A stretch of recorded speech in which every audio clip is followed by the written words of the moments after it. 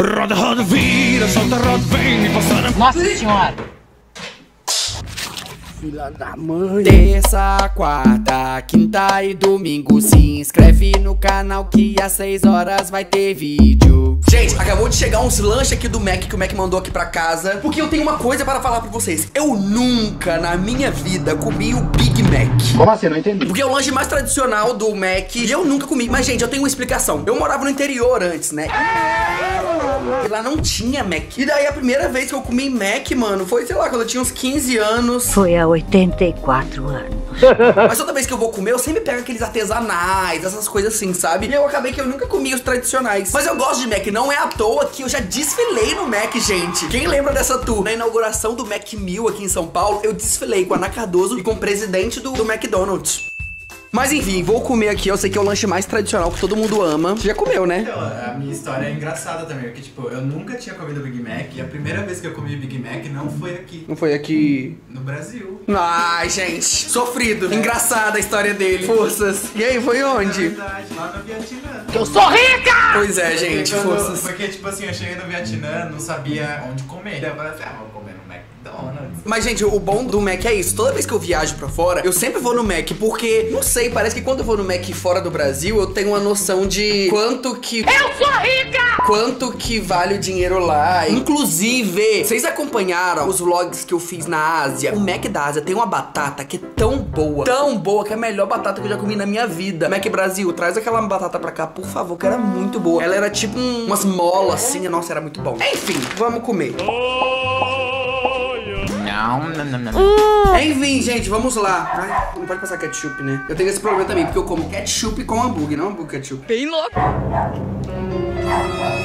Ah, é bom, tem um molho. Acho que é o molho que faz diferença. É o molho que faz, é. Nossa, só gatilho agora, gente. Só gatilhando vocês. Ai, mas uma coisa que eu adoro é nuggets, gente. Eu sou viciado em nuggets. Você sabia que nuggets é, é pintinho? Sabia não? É pintinho, não é? É tipo o resto do frango, né? Ah, é? Tipo, Não é todo. pintinho, não? Como, tipo, as partes do frango que você não consegue aproveitar. É tipo uma linguiça de frango. É, tipo, não vai vender no mercado olho de frango. Ai, olho! Gente, pra mim, o mundo é dividido entre dois tipos de pessoas. As pessoas que comem picles e a pessoa que não come. Ele tira todos os picles. Mas eu não ligo muito, assim, não é algo que eu gosto, assim, que falo, nossa, queria comer um picles. Ah, mas se tiver, né, eu como. É, atrapalha o gosto do lanche. A parte gostosa do lanche é o lanche. Nossa, gente, obrigada. Ajuda muito a minha autoestima. Eu acho que eu só como picles por causa das meninas superpoderosas. Eu era influenciado, que eu sempre quis comer picles porque elas comiam picles. Ela não, né? O prefeito. Como que eu falei disso? É igual o Popeye. O desenho do Popeye que ele come espinafre pra ficar forte. E daí isso foi feito, foi criado pelos Estados Unidos justamente pra vender mais espinafre. Ah, agora eu entendi. Yeah! Tomei um banhozinho, coloquei outra roupa, tetepão. Vou gravar um stories agora, fazer Inception. Pessoas do vlog, esses são as pessoas dos stories. Pessoas dos stories, esses são as pessoas dos vlogs. Dá oi. Gente, eu preciso ir na farmácia para comprar um remedinho que acabou e um negócio pra eu passar na cara, que minha cara tá lotada de espinha, olha. Se foder. Eu quis fazendo uma torta, do nada. Você tá muito bonito com esse cabelo, pode cortar, bota uma peruca. Bota uma peruca, agora. E, gente, o pessoal lá do Instagram tá me cobrando porque eu prometi há um tempo atrás que iria usar uma coisa. Ai, meu Deus, esse gato vai quebrar essa cama. O que você tá fazendo aí? Sai. Enfim, prometi lá no Instagram que eu iria usar esse maiô aqui que eu recebi há muito tempo. E eu tava procrastinando, procrastinando. E já que nesse vídeo eu quero fazer coisas que eu nunca fiz na minha vida, irei fazer pela primeira vez, acho que é um bom momento. Mas não vou vestir agora, vou vestir no final do vídeo. Calma aí, calma aí, calma aí. Porque, real, eu tenho que ir na farmácia que eu tenho que tomar um remédio agora. E aí depois eu coloco, beleza? Vai, Doguinho. Vou te guardar aí dentro. você vai ver. Eu tô com medo de ficar com só um ovo pra fora, sabe? que horror. Mas, gente, é verdade. Por isso que eu não vesti até hoje. Só que vamos ali antes, que eu não quero morrer do coração. Meu pai, você me maltratou, você me maltratou, Luísa meu. A gente podia fritar essa coxinha de gato, né, pra comer? Para com essa p... Ai, de gato alongado. É a coisa mais linda. Ele tem um bafo de cocô. Eu vou na farmácia, né? Daí eu tô pensando em ir no mercado também comprar outras comidas que eu nunca comi, tipo Big Mac, que eu nunca comi na minha vida. Porque tem umas comidas, tipo mocotó. Eu nunca comi mocotó. Daí eu vou tentar pegar algumas comidas que todo mundo já comeu que eu nunca comi pra eu experimentar e ver minha primeira reação. Tudo bem. Gente, eu amo esses meus shortinhos curtos que eu uso. Só que eu fico com uma leve vergonha também, porque meu short é tão curto que o bolso fica saindo pra fora. Jesus. Mas eu amo esses shorts. Nossa, muita gente me pergunta de onde é esse short. Eu comprei eles numa viagem que eu fiz pra fora. Eu comprei vários, assim, eu tenho, sei lá, uns oito shorts desses, tudo igual, só mudar a cor, que eu amo. Cheguei aqui na farmácia, finalmente. Vou comprar meu Viagra. Enfim, comprei o remédio aqui, eu acho engraçado porque a menina do caixa, ela me conhece. Aí toda vez a gente fica conversando sobre o canal. Tem um mercado aqui perto e eu tô achando que eu vou lá comprar as comidas que eu nunca comi. Igual eu falei com vocês. Vamos ver que vai dar, né?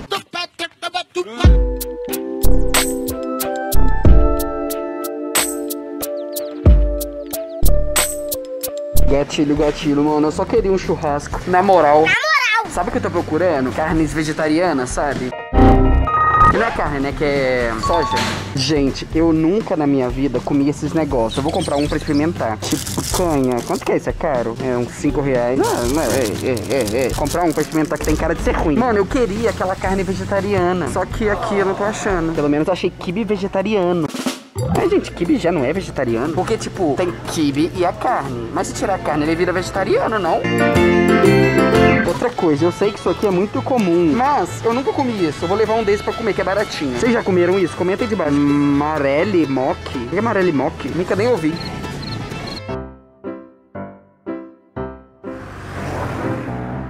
Cheguei em casa, gente. Hoje eu acho que é o dia oficial de fazer coisas pela primeira vez. Que menino Cris fez uma torta integral de frango. Explique. É porque não tinha fermento. Gente, o Chris ele tem um problema que o negócio, mesmo estando bom, ele já pede desculpa antes dele explicar. Falei pra você explicar a torta, você começou a falar que explicar porque ela tá com gosto de trigo. Ela tá boa. Mas é que eu queria explicar a aparência dela, que não tá muito apresentável. O recheio ficou muito bom, porque eu peguei frango desfiado, coloquei um pouquinho de bacon, cebola tomate. Então a combinação ficou perfeita. A massa é que é a parte que não. né? Mas é porque a gente não tinha farinha de trigo da branca, só tinha a farinha integral. Daí ela ficou marronzinha assim. Daí, como não tinha fermento, ela fica mais assim. Vou experimentar. Maior.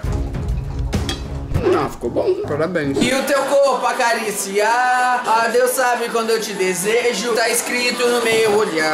Com essa Como as ondas são do mar. Não dá pra ver. Empolguei. O YouTube vai me bloquear por causa dessa música. Não me bloqueie, YouTube. Eu sou mó legal. Agora ele não vai bloquear mais. Comprei as comidas, vamos comer, vem cá. E, gente, a bateria não acabou, então vocês não viram tudo que eu comprei, então vai ser uma surpresa. Primeiro eu comprei isso aqui. Você já comeu isso? Hambúrguer de micro-ondas? Acho que já? Acho que É já. porque o Chris, ele era todo podre aqui dentro, já comeu tudo. Antes, mano, eu nunca tinha comido na minha vida uma comida congelada, assim, nada, nem lasanha. Mano, pra você ter noção, minha mãe foi comprar micro-ondas pra mim quando eu tinha, tipo assim, 17 anos. Foi há 84 anos. Porque ela falava que micro-ondas era cancerígeno, aí não podia. Vamos começar por esse. Mas tem várias coisas. Ó, é abriu, aí tem um hambúrguer. Gente, esse hambúrguer, a morte deve morar aqui dentro. Vamos lá. Um minuto e meio. Um e trinta, vai. Enquanto isso, vamos comendo outra coisa. Vem cá, vamos comer isso. Ai, Maria Mole. É Maria Mole que chama? Parece Maria Mole. Gente, isso é Maria Mole? Comentem aí de baixo. É mole. É. Ah, eu acho que é Maria Mole, ó. Ai, tem textura de Maria Mole. Tem textura de isopor. Ah, não é ruim. Maria Mole, eu não gosto não. Tipo assim, não é ruim, é comestível. Vamos pegar o outro. Gente, olha, todas as coisas que eu comprei, nossa, comprei muita coisa, eu acho ainda. Olha isso. Mas isso vai ficar pra depois. Tudo bem. Você já comeu mocotó? Mocotó? Você nunca viu mocotó? Não, o que que é mocotó? É uma geleia que as crianças levavam pra, pra merenda. Eu odiava.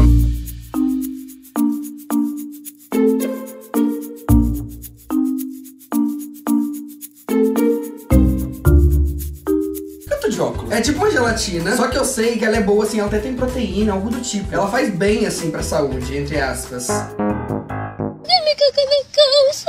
Doguinho, me salva, doguinho.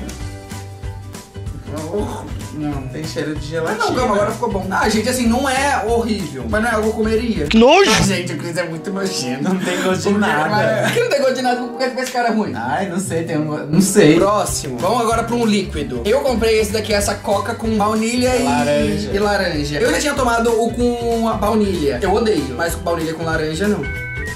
Sabe o que parece? Quando você pega sorvete de creme e joga coca. Não é ruim, não. É ruim, não. Tem um gostinho de baunilha, mas nem dá pra sentir direito o laranja. Próximo, esse daqui é Canadá Dry. Ela vem diretamente do Canadá. E não tem sódio. Não vai reter líquido, meninas.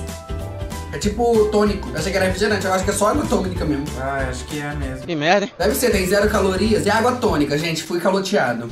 Agora uma coisa que vai ser muito ruim, gente. Que é negócio da leite moça, só que é de churros. Eu nunca comi. Parece papinha de neném. É muito bom. Caralho, é muito bom. tá lascado. Parece o que vem dentro do bolo. Tipo, você compra um bolo de e quando não é doce de leite, parece aquilo. Nossa, é muito bom. Não é igual o brigadeiro. Parece recheio de bolo com um gostinho de canela. Ah, tem um hambúrguer ainda. O hambúrguer já esfriou. Vamos ver.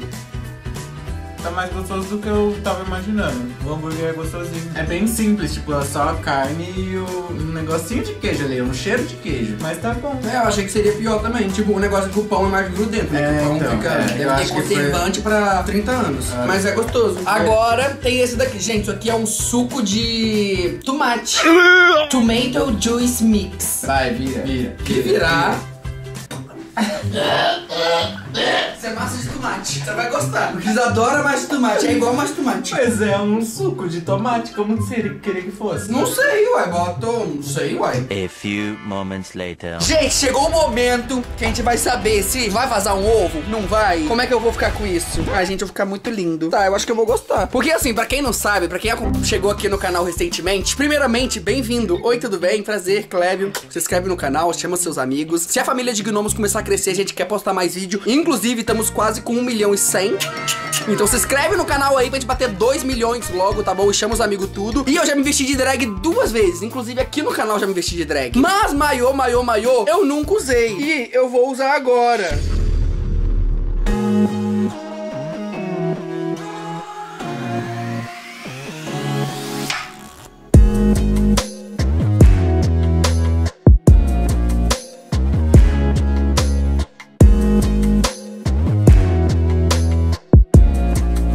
Gente, eu coloquei, eu amei. De verdade. Pior que eu gostei de verdade. O único problema é que fica muito aparente o tamanho do, do bagulho, sabe? E aí eu fico com vergonha. Mas olha. Tcharam! Mas eu gostei. Só que ficou muito marcado. Aí eu não poderia usar na praia feliz, né? Mas o que vocês acharam? Vocês acham que eu devo usar esse look pra sempre, pra ir pra praia assim? Comenta aí de baixo. Hashtag Clébio, aproveite a vida de maior. Ou se você achar que não, fala hashtag Clébio, coloca a sunga mesmo. Mas aí, gente, eu espero que tenham gostado desse vídeo aqui. Não esquece de deixar o like aí, se inscrever no canal. Como eu falei, chama seus amigos pro canal. Se alguém ainda não conhece o canal, que você, do seu convívio, dos seus amigos, sua escola, sua faculdade, apresenta o canal, manda no grupo aí do WhatsApp, que a gente tá em quase 1 milhão e 100, rumo a 2 milhões já. E se a família de gnomos continuar crescendo, porque começou a crescer bastante de um tempo pra cá, a gente quer começar a postar mais vídeos, assim, eu juro, estamos postando 4 por semana. Queremos aumentar pra 5, depois pra 6, e aí chegar um dia que a gente vai postar todo dia. Só que a gente precisa que tenha mais gente aqui no canal pra gente conseguir manter tudo e pra gente ficar feliz, e pra vocês terem mais vídeo, a gente ter mais gnomos acompanhando a gente, e todo mundo vai ficar feliz, beleza? Então se inscreve no canal, deixa seu like, divulga pros amigos. Beijo, beijo, tchau!